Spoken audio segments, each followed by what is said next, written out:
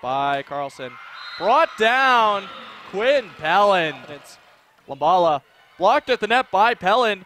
Poking that one down was Anna Carlson Attack by and Reynolds is blocked. Kitchen can go Yeah. on some significant runs. Tagawa for Sandiford. Mount Royal not going Pellin serving it up right to Lermanow. Sandiford tapping that one over.